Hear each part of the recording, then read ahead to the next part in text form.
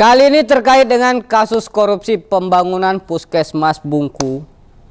Hakim tolak eksepsi dari mantan Kadinkes Batang hari ini. Kayak mana pantauannya? Kita tengok baik di pantauan Bang Jack.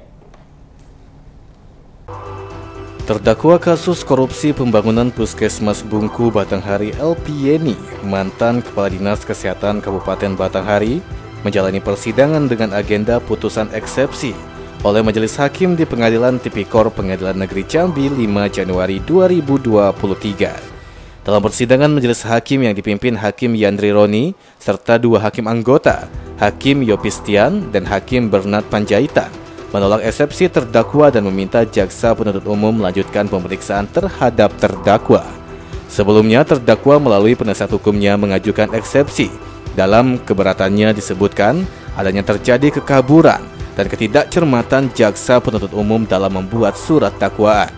Menurutnya jika terdapat kesalahan dalam pembangunan, semestinya sanksi yang dijatuhkan adalah sanksi administrasi yang memakai Undang-Undang Nomor 2 Tahun 2017 tentang konstruksi, yaitu sanksi administrasi bukan ranah pidana.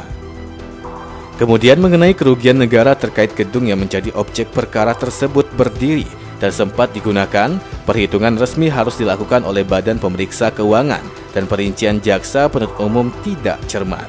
Iqbal, Cek TV, melaporkan.